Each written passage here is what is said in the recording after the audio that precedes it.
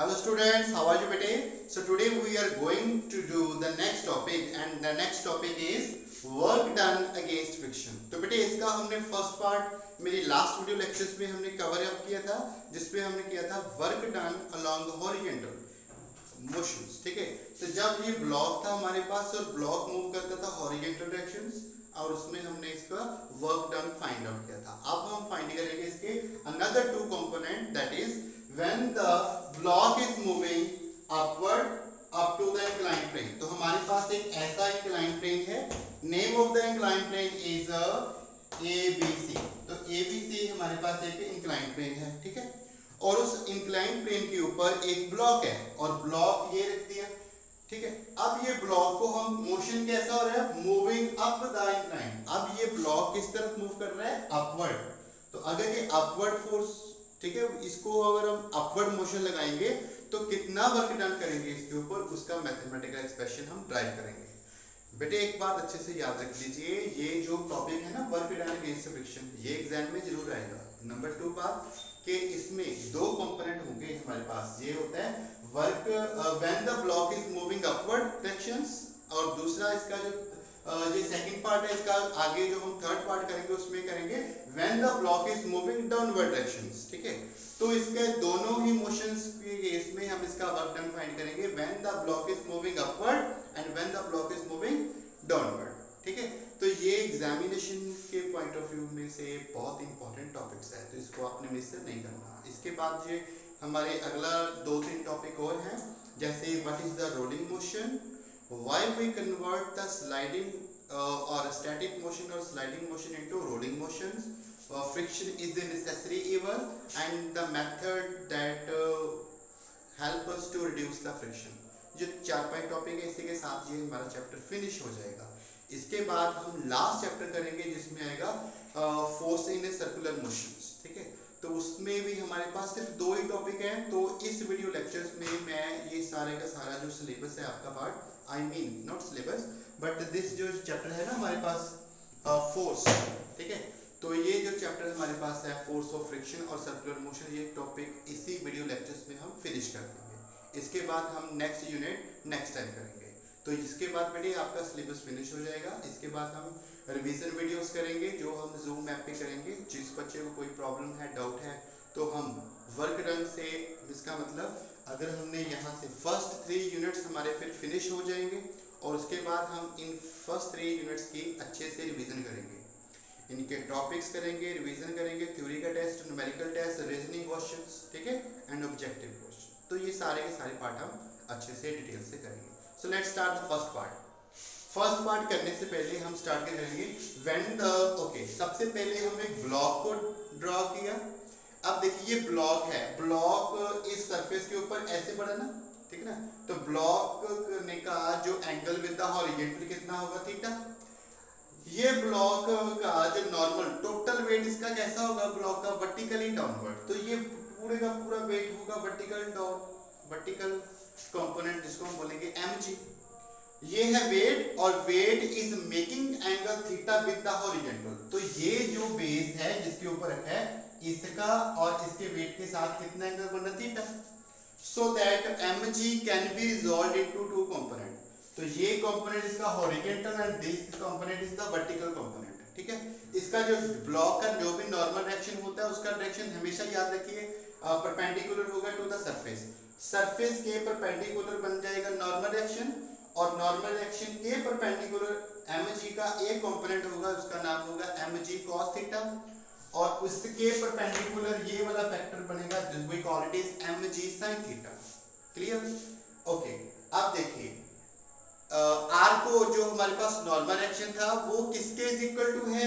Mg cos theta के। अगर ये ऑब्जेक्ट मूव कर रहा है अपवर्ड तो उसके ऊपर जो फोर्स लग रही है इन द अपवर्ड डायरेक्शन उसको हमने क्या नाम दे दिया पी ऊपर लिख दिया मोशन अपवर्ड तो अगर ब्लॉक ऊपर की तरफ़ जाएगा तो फोर्स ऑफ़ फ्रिक्शन किस तरफ़ होगा? डाउनवर्ड डायरेक्शन तो ये होगा ब्लॉक और सरफेस के in between force of friction that is F तो यहाँ पे देखिए, जो हम फोर्स अपवर्ड लगाते हैं तो उसको दो कंपोनेंट इसके ऑपोजिट फोर्स लगाते हैं। कौन से? एक फ्रिक्शन और इसी बॉडी का ब्लॉक का कंपोनेंट जिसका नाम है एम जी साइन थीटा ठीक है? तो अब हम यहाँ से फाइंड करेंगे वर्क डन सबसे पहले हम फाइंड करेंगे when the block is moving up, the force of friction is तो force of friction हम फाइंड करेंगे। आपको पता है force of friction का फॉर्मूला क्या होता है? वो होता है F. F is equal to क्या होता है? mu r. F is equal to mu r. तो mu k लिखा हमने। K क्यों लिखा? क्योंकि ऑब्जेक्ट इसमें है? मोशन में। ओके सॉरी अगर ऑब्जेक्ट मोशन में है तो यहाँ पे कोफिशिएंट ऑफ़ काइनेटिक फ्रिक्शन आएगा। तो काइनेटिक फ्रिक्शन के लिए हमने यूज़ किया mu K force of friction is equal to होता है coefficient of kinetic friction into normal reaction आपको पता है नॉर्मल रिएक्शन किसके इक्वल टू था? mg cos थीटा के, वो हमने पुट कर दिया। इसकी वैल्यू को इसमें पुट कर दो। वैल्यू आ गया फ्रिक्शन का। फ्रिक्शन का वैल्यू आ गया हमारे पास mu K mg cos theta हमने इसको नाम दे दिया क्वेश्चन नंबर वन अब नंबर टू कितनी फोर्स लगाई थी? फोर्स हमने लगाई थी P और ये फोर्स कि, किसके इज़ इक्वल टू था? This force P is equal to force of friction plus mg sin theta तो फोर्स जो हमने applied on block is P.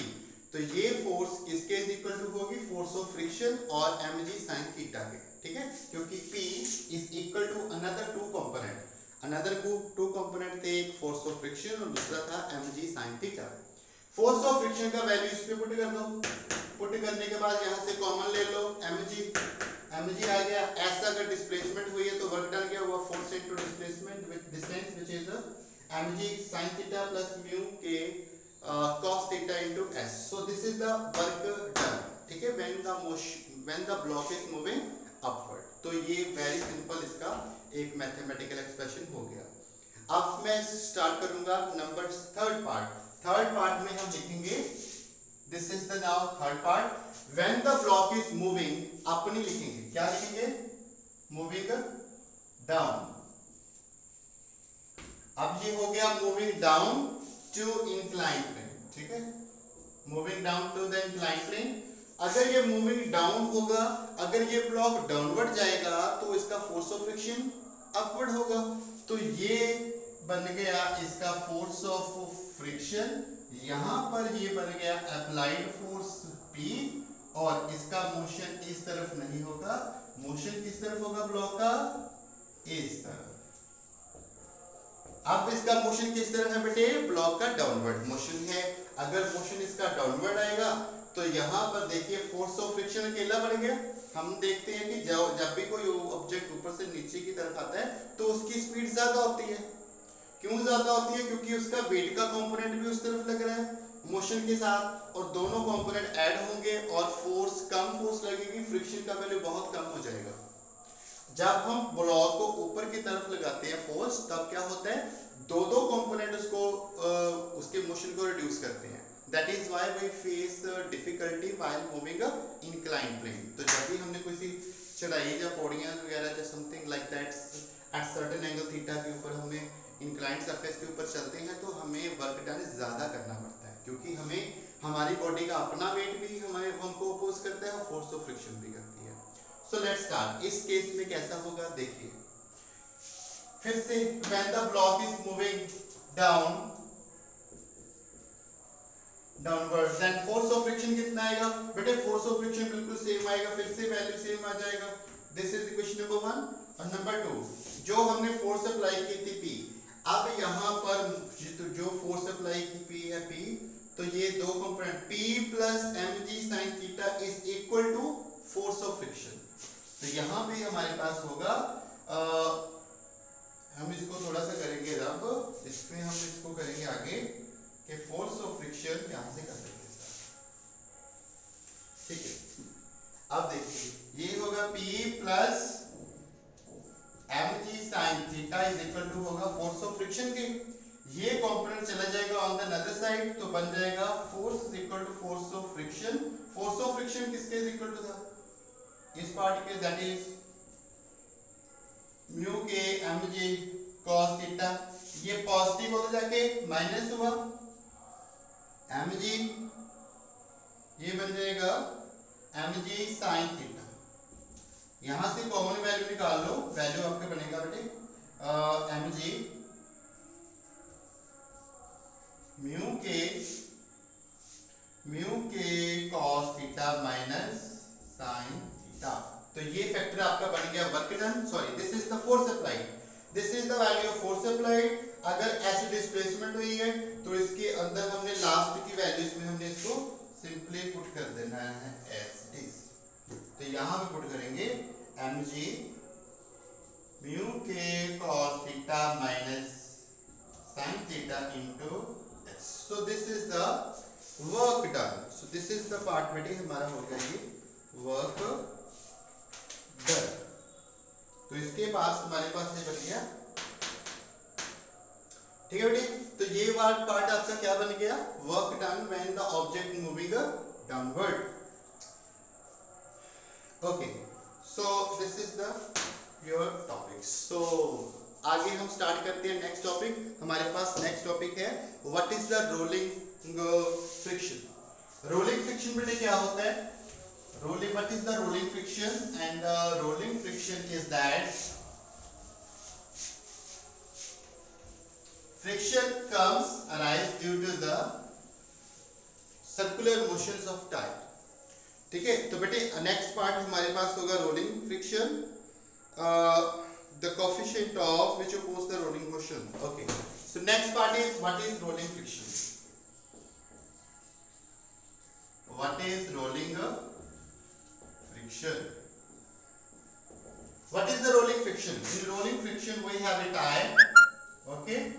And uh, this part is called and this is the surface. Okay. So in case of rolling friction we will study that uh, force of friction between the motion of the wheel and to the surface.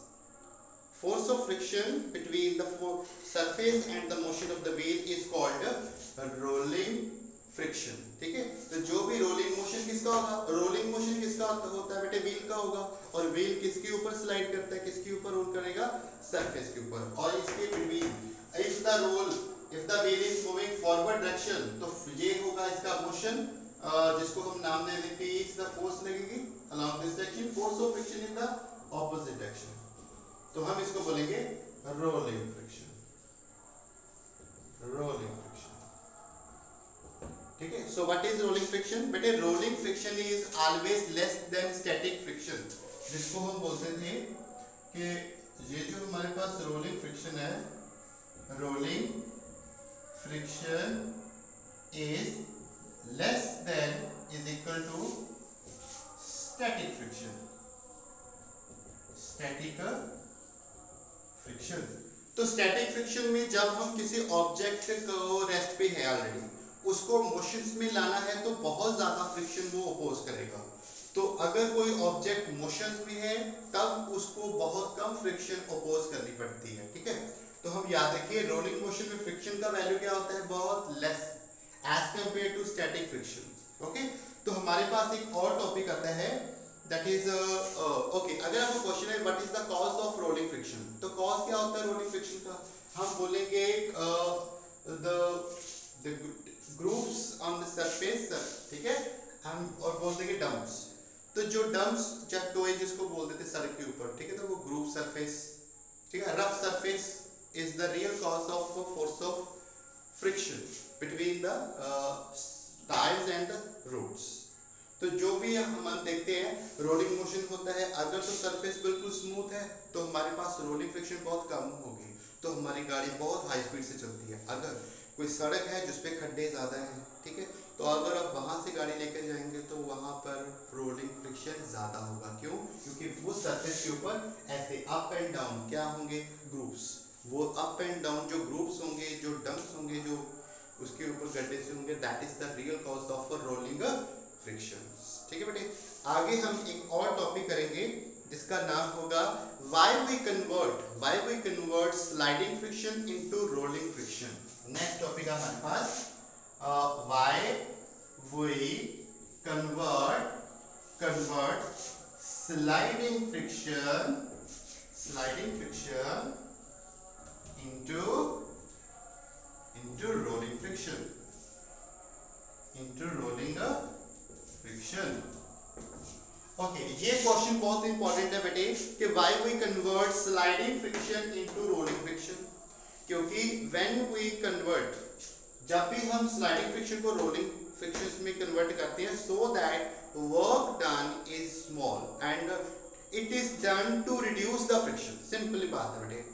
तो हम इसको क्यों convert करते हैं ताकि friction को हम reduce कर सकें? How it is happen let's see मेरे ओके okay, आपके पास एक घर में कोई कूलर होगा। अगर उस कूलर के नीचे जो टायर लगे होते हैं छोटे छोटे जिससे वो उसको मूव करवाते हैं ठीक है? कूलर को from one place to another desert cooler जो होता है गर्मियों के दिनों में हम यूज़ करते हैं ठीक है? अगर उस कूलर के छोटे छोटे नीचे टायर्स ना लगे हों फिर क्या होगा?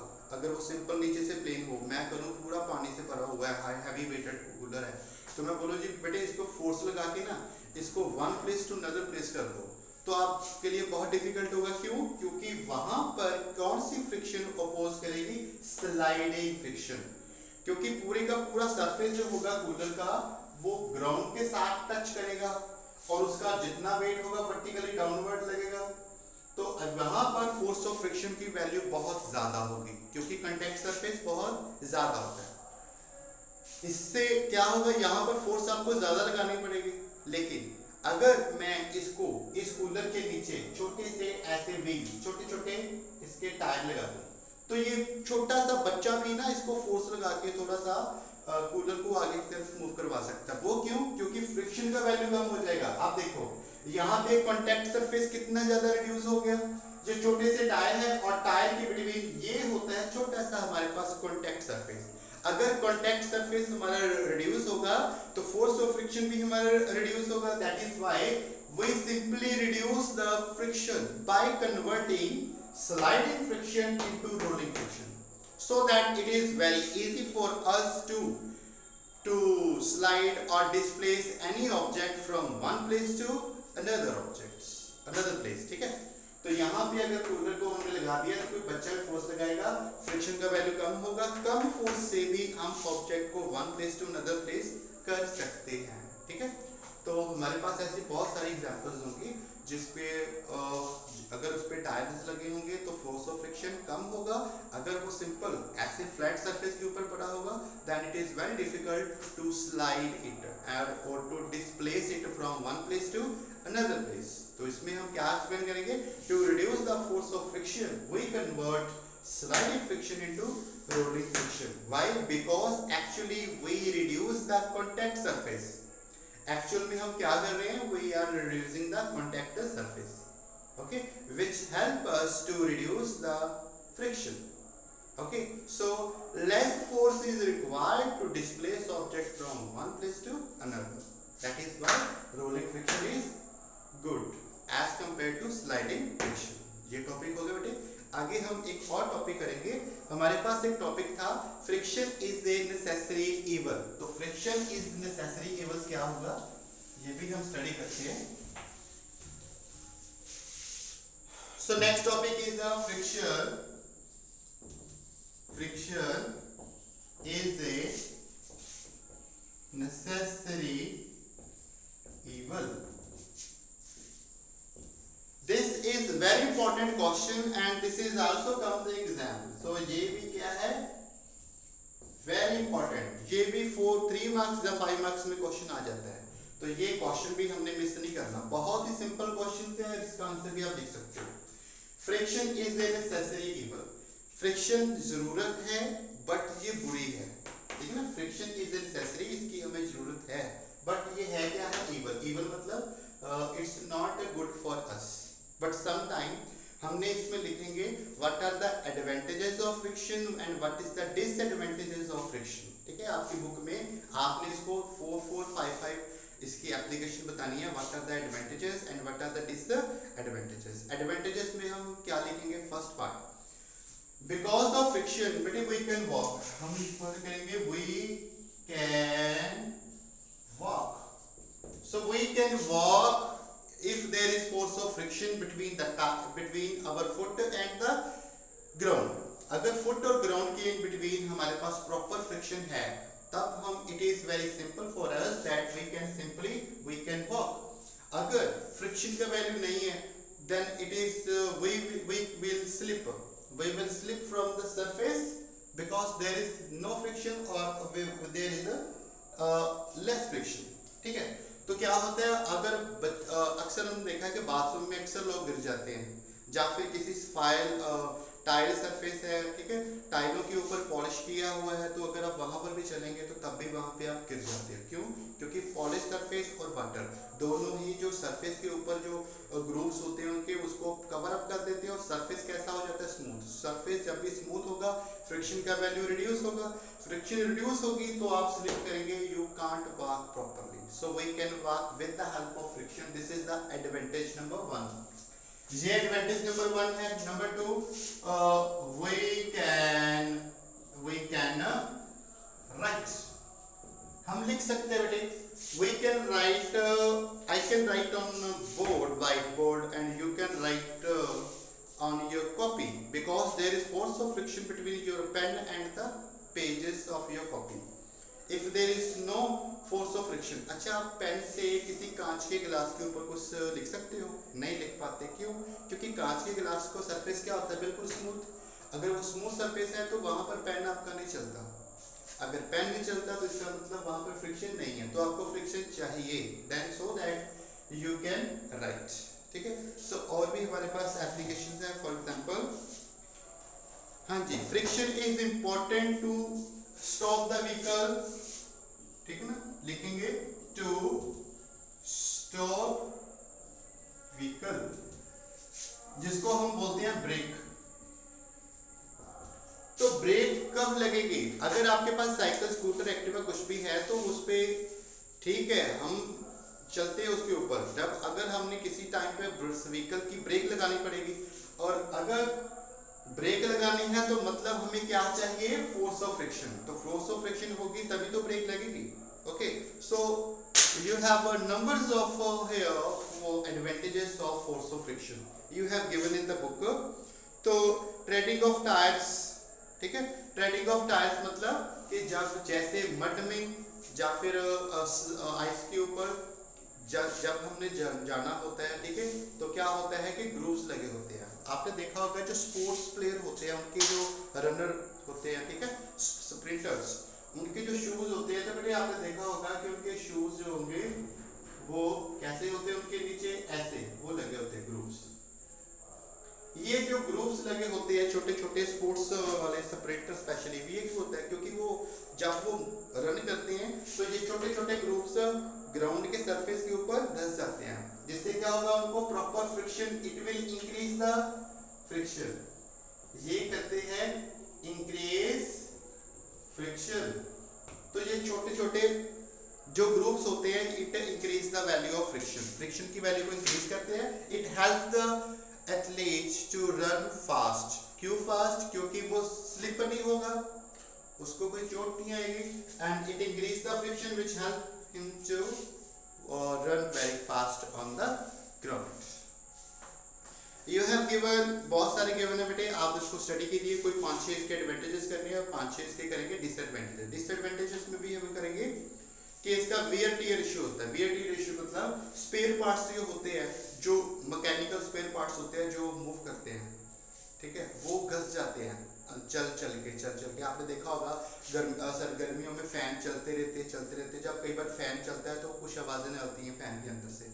वो क्यों आती है? क्योंकि उसके मैकेनिकल पार्ट में फोर्स ऑफ़ फ्रिक्शन होती है। एक सरफेस दूसरे सरफेस के ऊपर ऐसे स्लाइड करता है और रोलिंग होता है। तो अगर उनमें ग्रीस या ऑयल की सप्लाई कम हो तो वो खुश्की के कारण, उसमें ड्राइनेस के कारण वो सरफेस आपस में वेयर टेयर होता है। मतलब वो किस किस के डैमेज हो जाते हैं। डैमेज हो जाएँगे तो इसको वेयर टेयर इशू बोल देते हैं उसको ठीक है? नंबर टू पार्ट होता है इट रिड्यूस आवर मोशन तो बॉडी के मोशन को ये फ्रिक्शन क्या करता है? रिड्यूस तो हम जितना मर्ज़ी वर्क डन करें तो अगर ये हमारे मोशन को रिड्यूस कर रहा है this is not good so you have given काफ़ी सारे इसमें और भी गिवन है। ये आपने खुद टॉपिक कर लेना this is very simple topic let's start next topic and our next topic is also very important that is called method to reduce friction ये टॉपिक्स होगा methods to reduce or increase friction तो हम दोनों ही method करेंगे। आपकी book में शायद एक ही मेथड गिवन होगा, लेकिन हमने इसमें दोनों ही मेथड करेंगे। मैं आपको दोनों ही करवाऊँगा।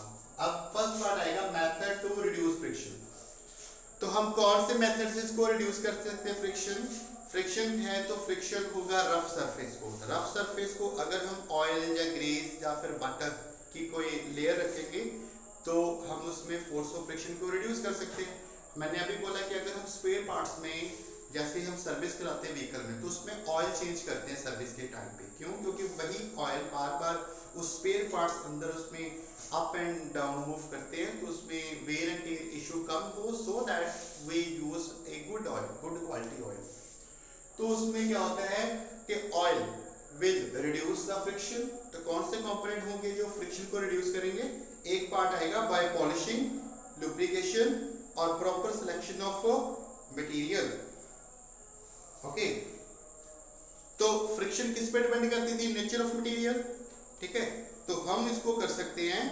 Iron is higher than between rubber and concrete तो फोर्स ऑफ़ फ्रिक्शन नेचर पे डिपेंड करता है। कंक्रीट के between force of friction less होती है और sorry force of friction between concrete and iron is higher ठीक है? Then the between rubber and concrete तो फोर्स ऑफ़ फ्रिक्शन को हम इंक्रीज कर सकते हैं by selecting the nature of material अगर नेचर ऑफ़ मटेरियल आपका अच्छा होगा तो फोर्स ऑफ़ फ्रिक्शन भी आप उसको रिड्यूस भी कर सकते हो इंक्रीज भी कर सकते हो. अगर रिड्यूस करना है तो आप रबर कंक्रीट करो. अगर इंक्रीज करना है तो आयरन एंड कंक्रीट करो. तो हम पे, हमने फोर्स ऑफ़ फ्रिक्शन को रिड्यूस करना है, इसीलिए जितने भी टायर्स होते हैं, वो सारे सारे किस मटेरियल से बने होते हैं? रबर और रबर और कंक्रीट के इन बिटवीन तो वहाँ पर हम मटेरियल को यूज़ करके उसकी फोर्स ऑफ़ फ्रिक्शन को कम कर सकते हैं। नंबर टू होगा यूज़ ऑफ़ पहला होगा selecting selecting a good nature of material nature of material to reduce friction to reduce friction first method part समझ आ गया If we use the rubber and concrete material, then friction will be less. If we use the uh, iron and concrete, then in these two materials the force of friction is high. So हमें choose करना है कौन सा material use करना है, so that we can reduce the friction. Number two is use of lubrication. Use of lubrication. तो lubrications में हम क्या use करते बेटे? इसमें use करेंगे oil, grease. और क्या यूज़ करेंगे? ऑयल ग्रीस वाटर तो ये सारे के सारे क्योंकि वाटर से लगाने से एक्सेट्रा और भी बहुत सारे आ, हमारे पास हैं ठीक है? पॉलिश पॉलिश भी यूज़ करते हैं इसमें। तो पॉलिश हम कहाँ यूज़ करते हैं? जब भी घर में टाइल लगती है या फिर फर्श पड़ता है तो हम पॉलिश लगाते हैं उसको, ताकि उसकी चमक आए। तो पॉलिश लगाने से सरफेस क्या हो जाएगा? स्मूथ सरफेस स्मूथ होगा तो फोर्स ऑफ़ फ्रिक्शन लेस हो जाएगी, ठीक है? तो लुब्रिकेशन से हम इसको फोर्स ऑफ़ फ्रिक्शन को रिड्यूस करते हैं। और एक कौन सा था? बाय पॉलिशिंग लिख सकते हो by oil by grease by watering ठीक है? ये सारे के सारे पार्ट उसके होंगे। मेथड वेज ऑफ़ फ्रिक्शन ठीक है हम दूसरा आता है बाय एयर कुशनिंग और बाय स्ट्रीमलाइनिंग बाय स्ट्रीमलाइनिंग कैसे? आपको पता है? एक होता है बाय स्ट्रीम लाइनिंग तो बॉडी की जो जो कोई व्हीकल का बॉडी है ना, उसको हम स्ट्रीम लाइन शेप देते हैं, ऐसे. देखिए, एक हमारे पास ऐसे है, बस है ये सपोज़ तो ये है हमारे पास एक गाड़ी है, ठीक है? तो ये है हमारे पास ट्रक। एक ये होगा, दूसरे नंबर पे है हमारे पास एक कार जो होगी अराउंड लाइक दिस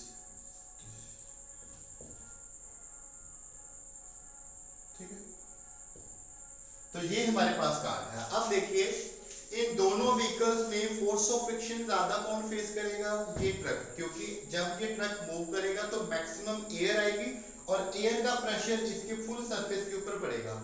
और इसकी स्पीड को ऑटोमेटिकली वो एयर का फ्रिक्शन क्या करेगा? रिड्यूस करेगा। लेकिन जब इस कार की स्पीड देखिए, इसका शेप देखिए, इसमें जब एयर आएगी तो इसकी ऊपर वाली एयर यहाँ से ऊपर चली जाएगी और नीचे वाली एयर इस साइड चलेगी तो इसकी जो शेप ऐसी बनी होती है स्ट्रीमलाइन इसकी बॉडी को हम क्या बोलते हैं? स्ट्रीमलाइन शेप तो अगर बॉडी का शेप स्ट्रीमलाइन होगा तो फोर्स ऑफ़ फ्रिक्शन क्या होगा? रिड्यूस होगा. If the shape of body is not streamline then the force of friction will increase. For the case of bus, truck, ठीक है, इस केस में force of friction उनको ज़्यादा होता है. इसीलिए उनकी स्पीड जो होती है, वो कम होती है. बट हमारे पास जो स्पोर्ट्स कार्स होती हैं, उनकी आप डायग्राम को देखो शेप देखो. जैसे फरारी कार हुई, ठीक है रेसिंग कार्स हुई तो वो सरफेस के जितना लोअर होंगी उतनी ज़्यादा उनकी स्पीड होती है। इस शेप को बोलते हैं स्ट्रीट लाइन शेप ठीक है? फॉर एग्ज़ाम्पल एक होता है हमारे पास टर्टल कछुआ, और सेकंड होता है शार्क शार्क कर लो या उसे डॉल्फिन बोल लो। तो जो डॉल्फिन फ़िश की जो बॉडी होती है दैट इज़ ऑफ़ लाइन और जो टर्टल होता है, उसकी शेप स्ट्रीम लाइन ही होती है दैट इज़ वाई उसका स्पीड थोड़ा कम होता है, और डॉल्फिन की स्पीड बहुत ज़्यादा होती है, क्योंकि उसकी बॉडी जो है, वो हेल्प करती है to reduce the force of friction तो ये थे हमारे पास टॉपिक एक टॉपिक कौन से मेथड है जिससे हम फ्रिक्शन को इंक्रीज कर सकते हैं? By throwing the sand. By, okay. By throwing the sand on the ice surface, we can increase the friction. अगर आप आइस के सरफेस के ऊपर चल रहे हो then you can you will slip automatically because the surface is very smooth अगर आप उस सरफेस के ऊपर हम क्या कर देते हैं? सैंड डाल देते हैं। सैंड जो मिट्टी कुछ ऐसे डाल देंगे उससे फ्रिक्शन का वैल्यू इंक्रीज हो जाएगा। So that we can increase the friction by throwing the sand or on the ice surface. Number two, we can increase the friction by choosing the grooves. तो ग्रुप्स होते हैं ना groups क्या था? वो जो छोटे छोटे वो छोटे स्कील्स होते हैं बेटे ठीक है ना? जो मैंने अभी बताया कि स्पोर्ट्स प्लेयर यूज़ करते हैं तो उनमें ऐसे जो ग्रुप्स होते हैं उनके type this grooves increase the value of friction between the surface and the foot तो ये small grooves increase the value of friction आपने देखा होगा, अगर ट्रैक्टर को होता है ट्रैक्टर को अगर हम किसी मड के अंदर चलाते हैं तो उसमें क्या होता है ट्रैक्टर का ये टायर होता है बेटे ट्रैक्टर का टायर देखा पिछले वाला? उसमें देखा होगा कितने ऐसे बड़े बड़े ग्रूव्स होते हैं, एक ऐसा होता है, एक ऐसा होता है, ठीक है? ऐसे ऐसे ऐसे लगे होते हैं so this along this direction तो ये क्या होता है? ये सारे के सारे उसमें ग्रूव्स होते हैं। तो ये जो पार्ट्स होते हैं this will increase the value of friction अगर टायर पूरे का पूरा घस जाए, उसके ऊपर जो लाइंस होती हैं, ठीक है टायर्स के ऊपर, अगर वो प्रॉपर सारी फिनिश हो जाए then it is very difficult to apply brake but अगर उसके ऊपर भी ये वाली ग्रूव्स होती है टायर के ऊपर ठीक है? छोटे छोटे टायर्स होते हैं, उसके ऊपर छोटे छोटे पॉइंट्स होते हैं ग्रूव्स अगर वो घस जाए तो ब्रेक नहीं लगती अगर वो है तो ब्रेक प्रॉपर ब्रेक नहीं लगती है। तो ग्रीव्स इंक्रीज द फ्रिक्शन और भी आपको मिल जाएँगे बुक में से, दो तीन मैंने बता दी हैं, दो तीन आप बुक्स में से देख लेना। और ये, इसी के साथ ये टॉपिक और ये चैप्टर फ्रिक्शन का चैप्टर पूरा आपका फिनिश होता है। अब हम स्टार्ट करेंगे नेक्स्ट चैप्टर जिसमें सिर्फ़ दो ही टॉपिक है सर्कुलर मोशन में, ठीक है? तो यूनिफॉर्म सर्कुलर मोशन में दो टॉपिक है वो हम अब करने जा रहे हैं ठीक है? उसके बाद ये यूनिट आपका फिनिश हो जाएगा so let's start this topic so let's start next chapter and our next chapter is dynamic of circular motion ठीक है? तो बेटे इस चैप्टर्स में हम पढ़ेंगे वो कौन सी फोर्सेस होती है that is responsible for the circular motion of the objects and number two in this one we have some part of syllabus is deleted. So we left with uh, only three that is uh, what is the centripetal force what is centrifugal force and uh, a vehicle taking a circular turn on a level road and the last topic is banking of track तो ये चारों के चारों topic करेंगे then after our this chapter is also finish और इसी के साथ आपका यूनिट नंबर थर्ड फिनिश हो जाएगा और फिर हम करेंगे next topic that is work energy power तो बेटे, ये टॉपिक हम फिनिश करने के बाद हमारा सारा का सारा चैप्टर फिनिश हो गया। Then after we will try to solve maximum its numerical part और न्यूमेरिकल पार्ट्स करेंगे एनसीईआरटी क्वेश्चंस करेंगे और भी बहुत सारे क्वेश्चंस करेंगे और इसके प्रॉपर टेस्ट भी होंगे, ठीक है? फॉर योर समिटिव वन जो टर्म वन के सिलेबस है, उसमें पार्ट आएगा। Okay so let's start now this topic what is the centripetal force? Beta this is the force which is responsible for the circular motion of the object. कोई भी object अगर वो circular motion में move कर रहा है तो that is because of its centripetal force centripetal force हमेशा किस तरफ़ होती है बेटे? इनवर्ड डायरेक्शन में लगेगी. सेंट्रीपिटल फोर्स को हम बोलेंगे ए एफ़ सी ठीक है? और ये होगा सेंट्रीपिटल फोर्स और इसका डायरेक्शन होगा along this for example this is earth यहाँ पे क्या है हमारे पास? Earth suppose earth have circular motion around sun ठीक है? The mass of earth is m. Mass कितना आएगा बेटे? m. और इसका रेडियस यहाँ पे कितना आएगा? R फ्रॉम द सन ठीक है? देन आफ्टर सेंट्रीपेटल फोर्स का फॉर्मूला हमारे पास होता है Fc is equal to mv square over r याद रखिए is the force with which the object have centripetal motions and uh, this force is responsible for circular motion of the object तो याद रखिए कोई भी ऑब्जेक्ट है जिसके पास मास है और वो सर्कुलर मोशन में घूम रहा है तो अगर उसके पास सर्कुलर मोशन है तो वो सर्कुलर मोशन में है because of which force centripetal force this force is responsible for circular motion of the objects ठीक है?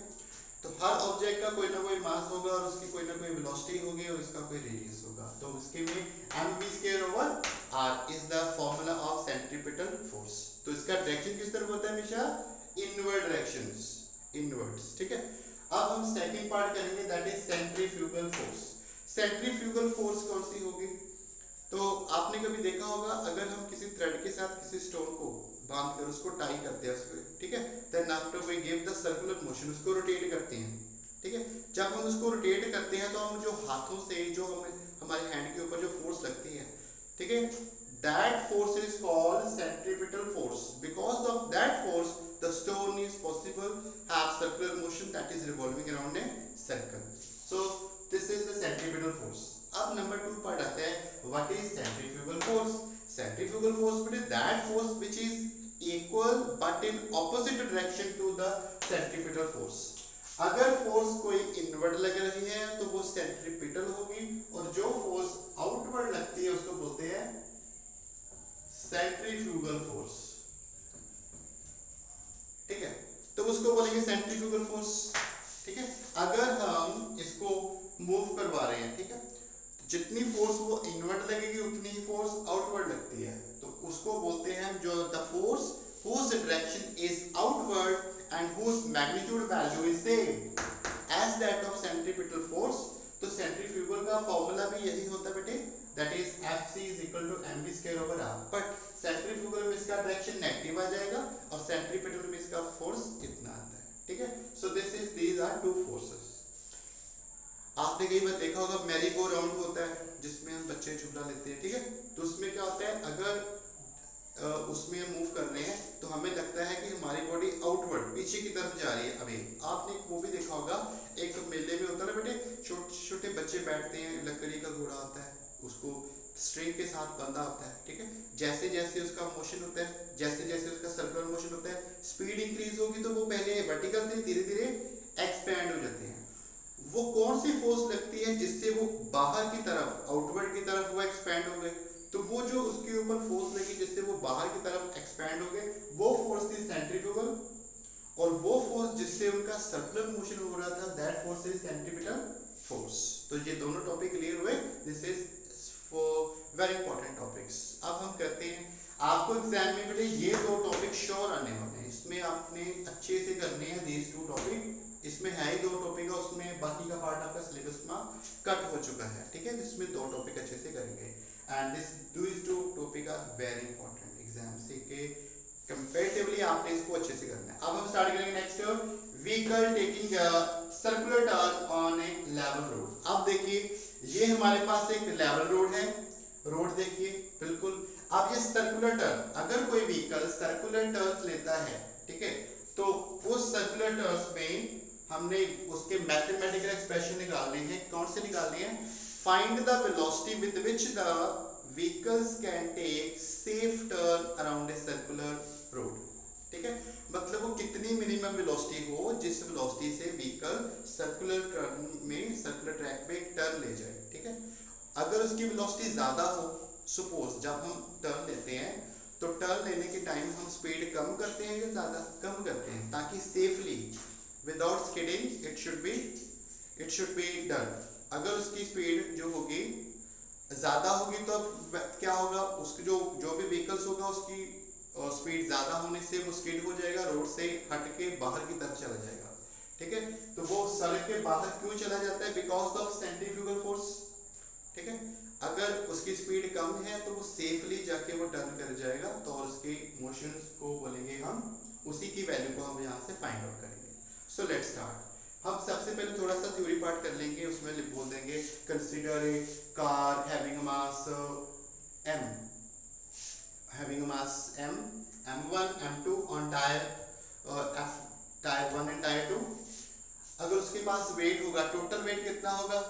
Mg1 एंड mg2 मान लीजिए कार है तो कार का टोटल वेट दो पार्ट में डिवाइड हो गया। वैसे तो कार के फोर टायर्स होते हैं लेकिन हमने डायग्राम में दो शो किए इसलिए दोनों के हिसाब से बोलेंगे तो हमारे पास पहले फोर्स होगी, जितना इसका वेट होगा, इसका वेट किस तरफ़ लगेगा वर्टिकली डाउनवर्ड वो बनेगा mg1 इसका नीचे वो बनेगा mg2 mg1 का नॉर्मल एक्शन ऊपर की तरफ़ होगा r1 mg2 का नॉर्मल एक्शन होगा ऊपर r2 और टोटल नॉर्मल एक्शन कितना आएगा?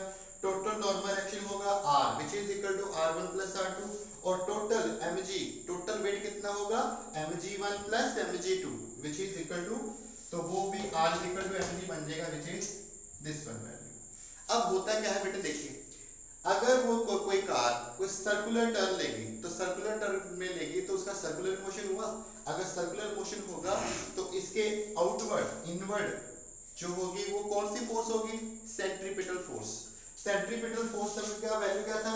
The value of centripetal force क्या थी? Mv स्क्वायर ओवर आर जो फ्रिक्शन होती होगी इन दोनों टायर के नीचे, वो देगी इसको necessary centripetal force the force of friction between the two tyre will provide to the car a force of centripetal force ठीक है? Because of that force the car is able to take circular turn तो F1 का भी इस तरफ़ होगा F2 का total force इस तरफ़ है तो this total force of friction का वैल्यू क्या होगा? Centripetal force. सेंट्रीपिटल फोर्स को ये sorry this is the force of okay centripetal force. So this one is the value of F one and F two value तो force of friction किस तरफ़ होगा बेटे? The value of normal action outer tyre spectre this one so total force of friction will provide the necessary centripetal force तो इसका F1 का value क्या आएगा बेटे? F1 is the force of friction तो फोर्स ऑफ़ फ्रिक्शन हमारे पास क्या होता था? फोर्स ऑफ़ फ्रिक्शन होता था म्यू r1 F2 का म्यू r2 दोनों को ऐड किया ऐड करने के बाद ये हमारे पास बन गया total value which is equal to r1 r2 इसको हम mg लिख लेंगे तो this is force of friction और सेंट्रीपिटल मोशन जो होता था, उसकी वैल्यू क्या थी बेटे? Mv square over r.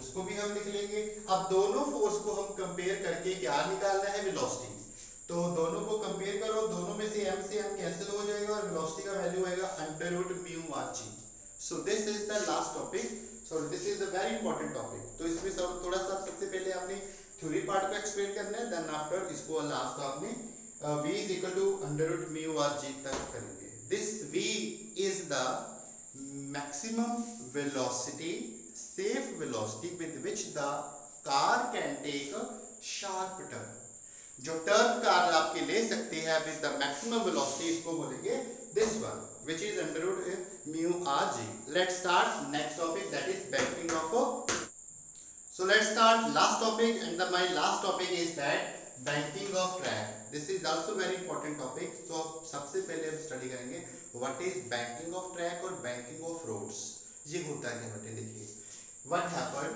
कि जब हमारे पास कोई ऐसे सरफेस होता था प्लेन उस केस में क्या होता था? ऑब्जेक्ट का था हॉरिजेंटल पार्ट जब उस पे ऑब्जेक्ट जो भी था कार फॉर एग्जांपल कार जब वो हॉरिजेंटल सरफेस के ऊपर शार्प टर्न लेती थी तो उसका सेंट्रीफ्यूगल फोर्स लगता था आउटवर्ड इस तरफ़ फ्रैक्शन लगता था। सेंट्रीफ्यूगल तो सेंट्रीफ्यूगल फोर्स लगते थे उस तरफ़, क्योंकि वो शार्प टर्न लेता था तो हमें पता है कि जब भी कोई ऑब्जेक्ट शार्प टर्न लेगा तो उसका बॉडी का वेट उस तरफ़, सारी बॉडी का वेट लगता था अराउंड देखिए, एक फोर्स लग रही है इसका इस तरफ़ और दूसरी फोर्स लगती थी आउटवर्ड एक थी सेंट्रीपिटल फोर्स जिसका डायरेक्शन था इनवर्ड एक दूसरी फोर्स थी दैट इज़ इक्वल और आउटवर्ड आउटवर्ड फोर्स को हम क्या बोलते थे? सेंट्रीफ्यूगल फोर्स तो इस केस में जब ऑब्जेक्ट शार्प टर्न ले रहा था तो सेंट्रीफ्यूगल फोर्स लगती थी उस पे ऊपर ज़्यादा ज़्यादा होने से क्या होगा? इसका टोटल वेट बॉडी का mg होता था इस तरफ़, और ये इसके पार्ट बन जाते थे कंपोनेंट ठीक है? अगर ये इसके पार्ट बन गए इसके cos थीटा और ये बन गया mg sin थीटा तो रिजल्टेंट फोर्स ज़्यादा फोर्स कहाँ लग रही थी? उसके राइट साइड इस टायर के ऊपर फोर्स ज़्यादा होगी।